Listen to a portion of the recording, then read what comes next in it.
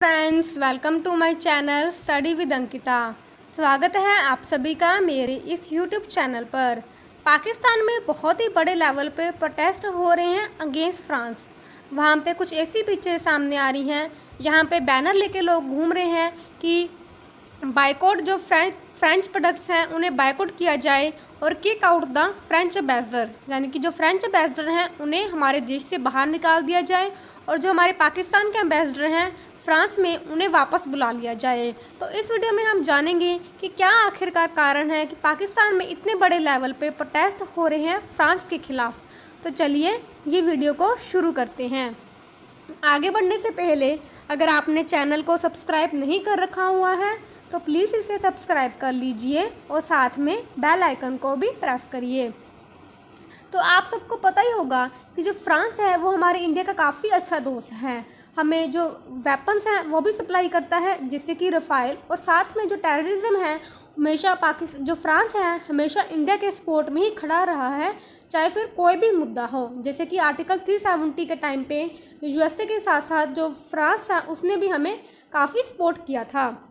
तो एक कारण ये भी हो सकता है कि जो पाकिस्तान है, वो फ्रांस से खफा है। बट इसका जो आज के प्रोटेस्ट हो रहे हैं, इसका ये कारण नहीं है। इसका कारण है वहाँ पे एक फ्रेंच मैगज़ीन है चार्ली हैब्डो की। उन्होंने क्या किया? जो प्रॉफिट मोहम्मद हैं, उनकी एक कार्टून प्रिंट कर दी अपने मैगज़ीन में। आपको बता दूँ कि जो प्रॉफिट मोहम्मद हैं, इस्लाम के काफ़ी इंपॉर्टेंट फिगर हैं। तो उनकी इस तरीके से कार्टून की मतलब पेश करना काफ़ी ऑफेंसिव तरीके से ये सही नहीं है। इसको जो बाकी के जो मुस्लिम देश हैं, जैसे कि ओआईसी और जो टर्की है सबने इसको कंडेम किया है। बट जो प्रोटेस्ट हैं, जैसे कि पाकिस्तान में हो रहे हैं, ऐसे प्रोटेस्ट आपको कहीं पे देखने नहीं मिलेंगे। तो चलिए आगे बढ़ते हैं कि आखिरकार ये मुद्दा क्या था। तो ये मुद्दा कब से शुरू हुआ था? ये शुरू हुआ था जो एक डेनमार्क की कंपनी है, जिसे बोलते हैं जाइलेंट्स पोस्टन इसने क्या किया था? 2005 में 12 कार्टून डिपिक्ट प्रोफेट मोहम्मद के अपनी मैगजीन में छाप दिए थे।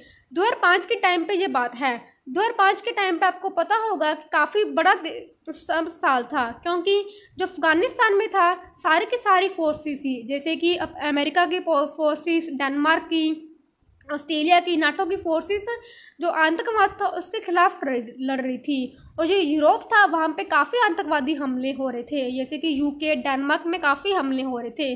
तो इस वजह से 2005 में इन्होंने क्या किया, जो डेनमार्क ने उन्होंने क्या किया, जो प्रोफेट मोहम्मद के थे उन्होंने इस इस तरीके से उनके जो कार्टून से पब्लिश किए।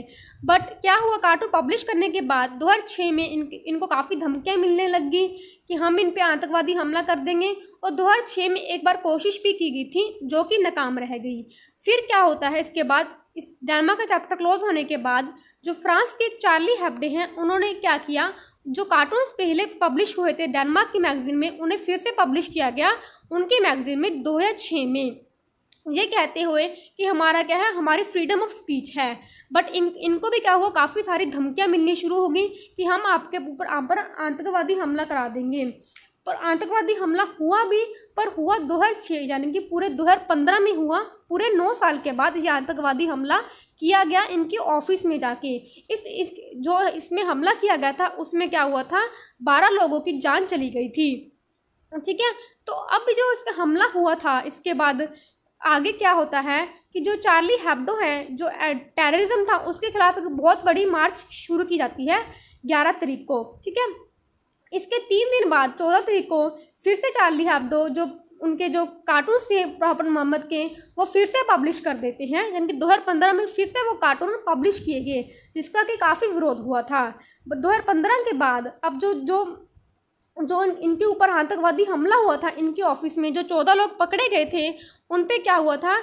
2020 में अब अब की अगर बात करें तो अब क्या हुआ है? 2020 के टाइम पे जो आतंकवादी पकड़े गए थे, उन पे ऊपर क्या हुआ? इन, जो प्रोसेस थी ट्रायल की, वो शुरू हो चुकी है। तो फिर से क्या हुआ? 2020 में आके जो चार्ली हाबडे थे, उन्होंने फिर से क्या किया? जो प्रॉफिट मोहम्मद के कार्टून से, वो फिर से पब्लिश कर दिए। ये कहते हुए कि हमारा क्या है? फ्रीडम ऑफ़ स्पीच है। और साथ में जो इनके ऊपर आतंकवादी हमला हुआ था, उसे भी पूरे पाँच साल कंप्लीट हो चुके हैं। तो इस वजह से वो फिर से किए गए उन पर जो जनवरी 2015 में अटैक हुआ था, इन पे इस्लामिक मिलिटेंट अटैक हुआ था, जो इसकी ट्रायल थी वो स्टार्ट हो चुकी है। तो इसे मनाने के लिए जो फिर से उन्होंने क्या किया कार्टून को पब्लिश कर दिया गया। तो अब देखिए, इसके बाद क्या होता है? जो उनके फ्रांस के प्रेसिडेंट हैं, वहाँ पे भी क्या हुआ, काफ़ी जो फ्रांस है, उसमें भी काफ़ी विरोध विरोध हो रहा है। क्योंकि जो फ्रांस की आबादी है, उसमें एट पॉइंट एट परसेंट क्या है, मुस्लिम आबादी के लोग हैं। और साथ में वो भी सारे क्रिटिसाइज कर रहे हैं फ्रांस के इस डिसीज़न को। जो फ्रांस के प्रेजिडेंट हैं, इमाइल मैक्रोन, उन्होंने कहा उन पर भी काफ़ी प्रेशर आ गया था कि चार्ली हेब्डे के खिलाफ बोले बट उन्होंने बोलने से मना कर दिया कि मैं चार्ली हेब्डे के खिलाफ नहीं बोलूँगा, क्योंकि उनकी क्या है, ये फ्रीडम ऑफ़ स्पीच है, वो कुछ भी कर सकते हैं। इसलिए जो हमारा इंडिया पे भी काफ़ी, जो मुस्लिम लोग हैं, वो ट्रेंड कर रहे हैं इस चीज़ को। आपने देखा हुआ ट्विटर पर भी ट्रेंड चल रहा है। शेम ऑन चार्ली हेब्डे क्योंकि ये एक तरह से मुस्लिम लोगों के लिए काफ़ी गलत चीज़ हुई है। तो इस वीडियो के ज़रिए ये था मेरा इस वीडियो का एनालिसिस आशा करती हूँ आपको ये वीडियो अच्छी लगी होगी। प्लीज़ कमेंट सेक्शन में नेगेटिव कमेंट्स मत करिएगा। तो अगर आपको कोई पीडीएफ चाहिए होती है तो you can join me on Telegram channel study with Ankita thanks for watching my video take care and bye bye